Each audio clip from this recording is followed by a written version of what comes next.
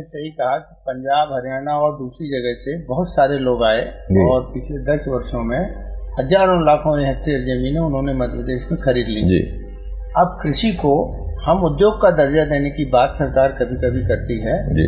और ये अभी भी उद्योगों को ज़मीन उपलब्ध कराने के लिए ये जो कृषि जमीनों को उद्योग खरीद सकें और उसकी सीमा समाप्त की जा रही है जितनी ज़मीन वो खरीदना चाहें वो खरीद सकते हैं। जी। तो क्या ये दोनों बातें जी। मध्य प्रदेश में कृषि व्यवसाय को खत्म करने के लिए हम्म, और उसकी जगह कृषि को पूर्णतः उद्योग जगत को सौंपने की कोई प्रक्रिया है साजिश है?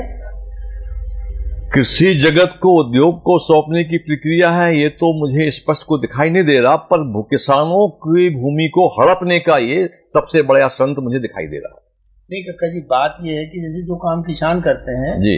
चाहे वो कोई भी व्यक्ति हो उसे खाने के लिए दो टाइम भोजन चाहिए है। जी। और खाद्यान्न उत्पादन हम्म, चाहे वो किसान के द्वारा हो और चाहे कारपोरेट्स के द्वारा हो। तो यदि उद्योगों द्वारा वो बनाया जाता है तो फास्ट फ़ूड की तरह उनकी कीमतों पे बिकता है। जी। उसमें विविधता नहीं होती। जी। वो जो जिस दर पे बेचना चाहते हैं हम्म, तो वो एकाधिकार उद्योग जगत में जाने के बाद एकाधिकार पनपता है। हम्म, और अभी ये हज़ारों लाखों किसानों के पास जो उत्पादन होता है उसमें एकाधिकार नहीं आता। अभी टमाटर की फ़सल आई दो रुपए किलो बिक गई। हम्म, लेकिन यदि वो कारपेट्स रहते हैं तो उसको उद्योगों की श्रेणी में संबंधित करके यदि वो साल भर पचास रुपए किलो बेचते हैं हम्म, तो वो पचास रुपए किलो साल भर बिकती है। हम्म, लेकिन दो रुपए किलो वाली ये जो स्थितियाँ होती थी। वो धीरे धीरे खत्म हो जाती हैं। तो अभी भी जैसे उद्योग जगत का दर्जा मिल गया हम्म, कृषि भूमियों पर उद्योग वालों ने अपने तरीके से उद्योगों की तरह कृषि व्यवसाय हाथ में ले लिया हम्म, और मनमानी कीमत में ब्रांडेड करके जैसे हाँ। आजकल ब्रांडेड का चलन बढ़ गया है। जी हाँ, जी हाँ, ये हर चीज़ ब्रांड से बिक रही है। हम्म, तो चावल बासमती ब्रांड का है तो वो सत्तर रुपए किलो है या दो सौ रुपए किलो है या टमाटर जेनरिक है ये है तो अब ये सब ब्रांडेड कृषि उत्पाद बिकने की स्थितियाँ आ गई हैं। जी। तो क्या इससे आप कहीं लाभकारी मानते प्रदेश के आर्थिक विकास में इसका कोई? नहीं इसमें जो मैंने कहा कि किसान जो साठ करोड़ बेरोजगार होगा इससे जिसको कोई काम नहीं मिलेगा इससे प्रदेश का विकास नहीं होगा। और आम जनता गरीब जनता मिडिल क्लास का आदमी के लिए फिर टमाटर गेहूँ की रोटी चावल जो आज बहुत सस्ते मिल रहा है ये मिलना दूभर हो जाएगा। उससे त्राहिमाम मच जाएगी क्योंकि ये प्राकृतिक उत्पादन है, किसी कारखाने में तैयार नहीं हो सकता। इसके लिए समय चाहिए, अनुकूल मौसम चाहिए, अनुकूल परिस्थितियाँ चाहिए, एक बहुत लेबर चाहिए, बड़े परिश्रम के साथ में किसान अन्य अन्नदेव को पैदा करता है, तब ये अन्य अन्नदेव पैदा होता है, जो जीवन रक्षा के उपाय है।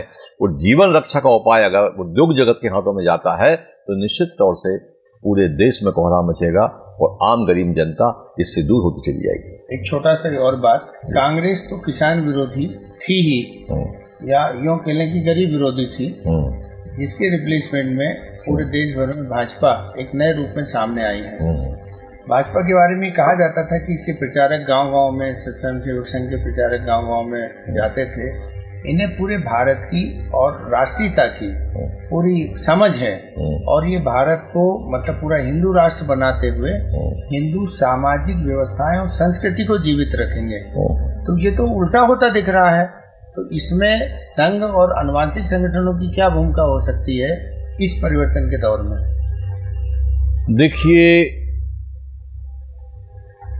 संघ के जितने भी अनुवांगिक संगठन है वो संघ उनके, उनने दो दो वर्ष का प्रतिबंध लगा दिया है कि आप सरकार के खिलाफ कोई आंदोलन नहीं करेंगे। और संघ के ही सारे उपक्रम में भाजपा भी एक उसका संघिक संगठन है। जब तक इनकी सरकार होगी, तब तक ये अपनी सरकार का विरोध नहीं करेंगे, चाहे सरकार कुछ भी करे। कहीं कोई राष्ट्रवाद नहीं है, कहीं कोई कल्चर की बात नहीं है, कहीं कोई संस्कृति की बात नहीं है, सारा का सारा ध्रुवीकरण केवल एक धन के आसपास घूम रहा है हर पार्टी को पैसा चाहिए पावर चाहिए। उसके लिए कोई भी दल कुछ भी करने को तैयार है। आज हम जो परिवेश देख रहे हैं, वो कांग्रेस से कई गुना बदतर ये सरकार काम करने जा रही है।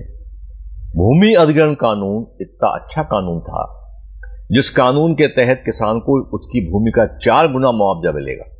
आपको आश्चर्य की बात होगी कि मध्य प्रदेश में अभी जस्ट जो जमीनें सड़क पर गई हैं स्टेट गवर्नमेंट ने उनको चार गुना मुआवजा देने से मना कर दिया है कहा कि हम नहीं मानते इस केंद्र के कानून को।